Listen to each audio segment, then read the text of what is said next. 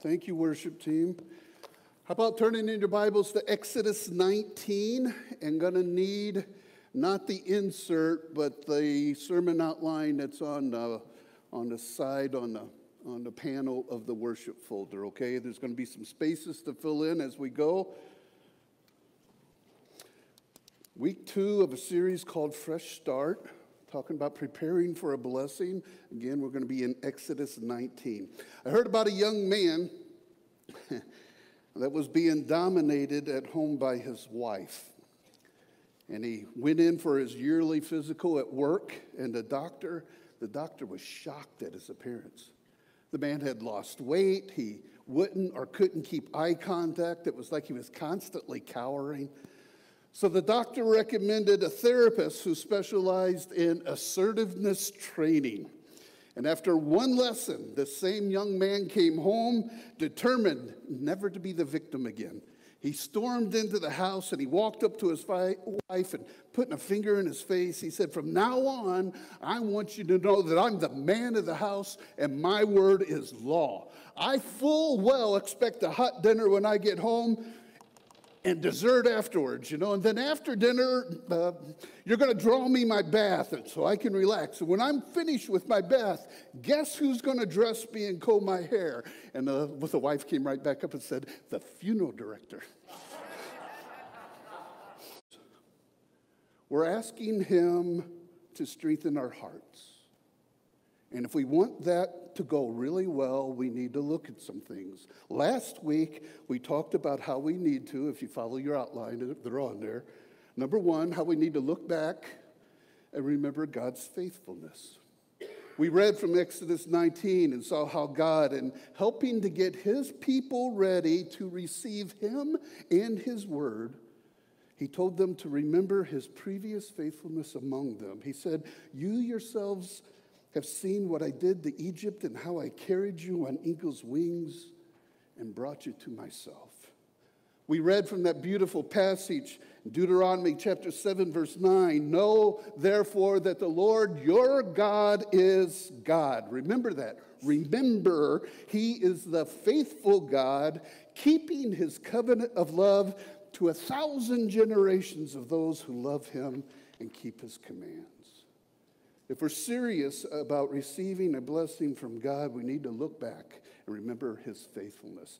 Then we need to look ahead and celebrate our future. We celebrate, and that's the right word, we celebrate the fact that God has already chosen us as his cherished possession and chosen priests. Those titles are ours because of him. Exodus 19, verses 5 and 6. Now, if you obey me fully and keep my covenant, then out of all the nations you will be my treasured possession. Although the whole earth is mine, you will be for me a kingdom of priests and a holy nation. We look back, we look forward, we look around because of the confidence in not only what he has done, but what he will do. We look around and it's like we nod. We, in agreement, we commit with the congregation. And to do that rightly with the congregation, here we go, this is today. Then individually, each one of us needs to, number four on your outlines, look inward and prepare yourself spiritually. Listen to the word of God again in Exodus 19 says, verses 10 and 11. And the Lord said to Moses, Go to the people and consecrate them today and tomorrow. Have them wash their clothes and be ready by the third day. I'm from St. Louis. I really want to say wash, but I'm trying, all right? Wash your clothes and be ready by the third day, because on that day the Lord will come down on Mount Sinai in the sight of all the people.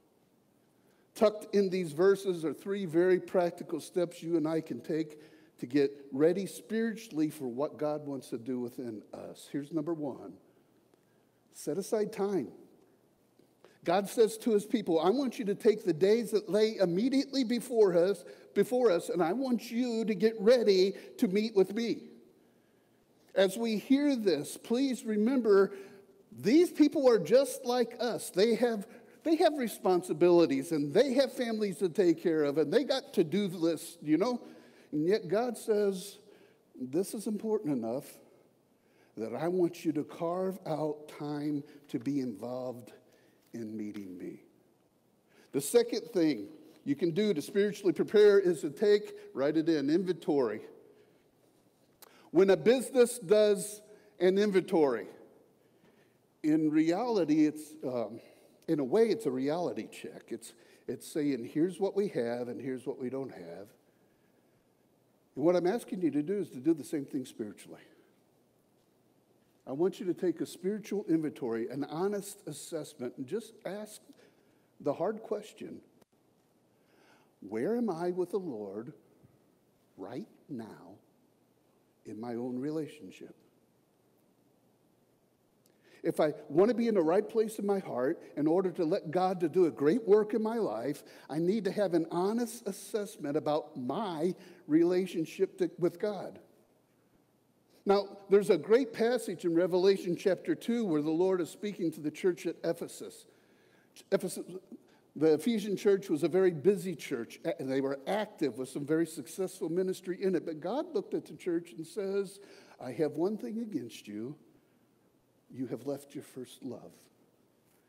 That had to hurt. I mean, that don't want to hear that. And if we're honest with him, what we hear, it might hurt for a time. But the truth is, in a congregation of this size, with this many people, even though outwardly we may be very busy and involved in church, for some of us, the fact is our hearts have drifted in a relationship with God. And this is just one of those times where heading into a new season, it's a built in time for us to just stop and ask Is there anything that's blocking my relationship with God? Is there some sin that I've been clinging to? Or have I just drifted and I need to come back in my relationship with God? I, I hope your heart's cry is the cry of David in Psalms 51, verse 10, when he says, Create in me a pure heart, O God. And I love this last part renew a steadfast spirit within me. That's a good prayer. Look inward set aside time, take inventory, and then maybe most importantly, pray diligently. Nothing is going to draw our heart to God's heart like prayer. Nothing is going to remove spiritual obstacles and roadblocks like prayer. Nothing is going to reignite our love relationship with God like time alone and just talking with Him. Nothing will invite the presence of God like a congregation who is committed to praying, and nothing will set a table for a God blessing more than, than prayer. I long for our congregation and myself to grow deeper in prayer during this time immediately before us. Deuteronomy 4 7 ought to be talking about us. What other nation, what other group of people, congregation, is so great as to have their gods near them the way the Lord our God is near us whenever we pray to Him. We ought to be the first upon our knees together. Number five, after everything we've talked about, last one, look up and get ready for a God encounter. The Bible says, Exodus 9, 19, verse 16 and following. On the morning of the third day, there was thunder and lightning with a thick cloud over the mountain and a very loud trumpet blast. Everyone in the camp trembled. Then Moses led the people out of the camp to meet with God, and they stood at the foot of the mountain. Mount Sinai was covered with smoke because the Lord descended on it in fire. The smoke billowed up from it like smoke from a furnace, and the whole mountain trembled violently. And the sound of the trumpet grew louder and louder. Then Moses spoke, and the voice of God answered him. Can you see it in your head? And right in the middle of all that, it says, Moses led the people out of the camp to meet with God. And I don't think it's stretching anything to say that often the most life altering encounters with God require us to leave the routine, to leave the comfortable, and leave the familiar. I have no doubt that we're going to be asking some of you to do something or some things you're not comfortable with over the next couple weeks. And that's okay. Because I know that He's worth it, and what He wants to offer us, what He wants to offer you, is guaranteed worth it. And to get that, the best of that, some of you are going to have to try this small group thing. Make room in your world for some relationships and the opportunity for Him to talk to you and use you through other people. For some, it might mean taking the risk to open your home to a group. For some, it will mean moving outside your comfort zone and beginning to begin to serve people in or out of our community who are in need. But right now, I want you to imagine the scene standing in front of Mount Sinai. Two million people, men, women, and children alike. And the Bible says that God came down Here's how it describes it in Exodus 20, verse 18. It says, When the people heard the thunder and the loud blast of the horn, they saw the lightning and smoke billowing from the mountain. They stood at a distance, trembling with fear. You know, when God comes down, it seems like the only real appropriate response is what we might call humble reverence. We get quiet, we bow down, we get real. Because it's in those moments we're reminded how small we are and how big and powerful and glorious He is. I don't know about you, but every time I, I, think of a situation like this, it reminds me of the story we've gone over before, Mark chapter 4, when after a time of ministry, Jesus says, Let's get in a boat and go to the other side of the lake. And they got in the boat, and promptly he went in the back of the boat and got a cushion and went to sleep. And they're making their way across the lake, and the scripture says a squall. I, I think it should say a doggone big storm came up, but a squall came up, you know, and the wind began to howl, and the waves were so high, the water began to break into the boat. And it was filling the boat with water, and finally, in panic, in a dis- desperation, and yes, frustration, the disciples wake up Jesus and they say to him, Don't you care that we're about to drown? And the Bible says that Jesus woke up and he stood up and he rebuked the wind and he said to the water, Be still. And the wind stopped and the waves died. And it says in Scripture that the disciples were terrified. Because while it's scary to have water in your boat, it's a whole lot more scarier to have God in your boat, right? You know? and when you have these kind of God encounters,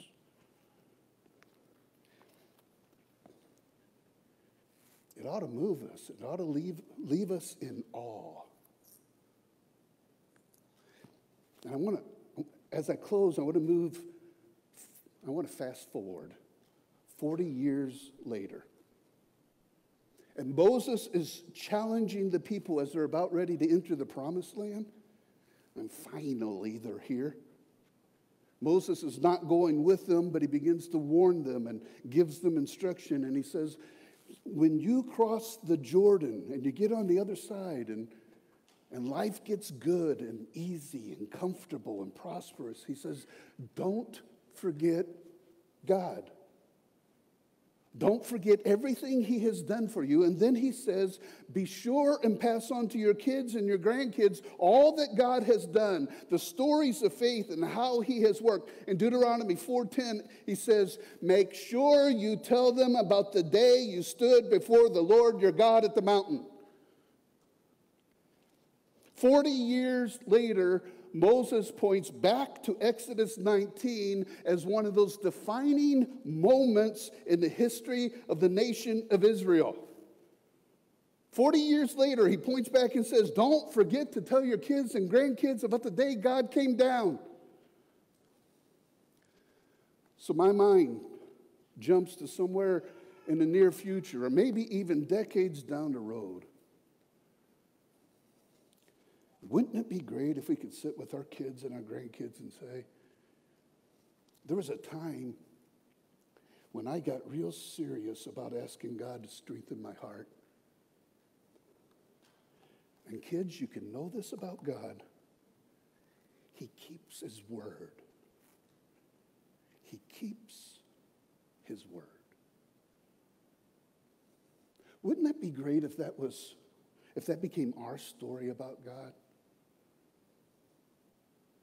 Now, some of you don't have nearly that big of an expect- expectation, you know. To be honest, you're not seriously looking for life change right now. But I tell you, He's that big of a God. He can change you, He can change us, He can change forever the eternal destiny of some of those around us. I want us to use this time to pray for a fresh start. I want us to prepare for a blessing from God. I want us to seek Him out together because that God that we come to worship together, He shows up. He keeps His word. He's that kind of God. We started a couple weeks ago with this passage, Second Chronicles. Anybody remember? 16.9. Who was the one good person? All right. Thank you very much. Everybody, look at her. She gets brownie points. All right. Second Chronicles 16.9. This is what it says. For the eyes of the Lord range throughout the earth to strengthen those whose hearts are fully committed to Him.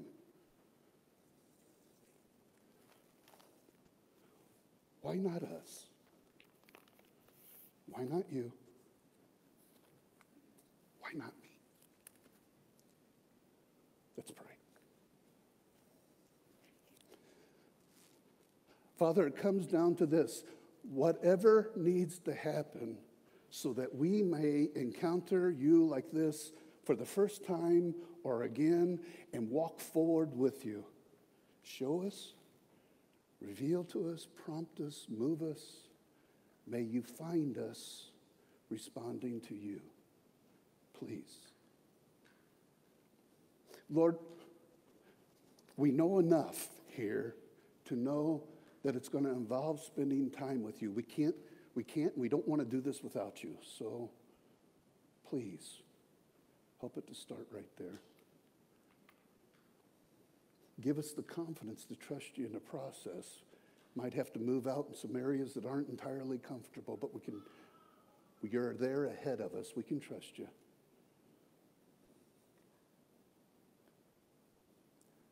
Lord, what moves our heart, may it be your faithfulness, your word, your promise. And may you Show yourself strong in this behalf of this congregation and individuals. Strengthen our hearts, Lord, please. May we be that people. It's in Jesus' name I pray. Amen. Always starts with God and what He's done with us through Jesus Christ. Going to ask our prayer partners come up. You might want to pray that you're going to respond to His prompting. We're going to sing a song, "Thou Art Worthy," which is very, very appropriate. Um, if you need to, just sit where you are and start your conversation with Him now. But let's make sure that we're allowing Him to move our hearts. Let's stand, let's sing.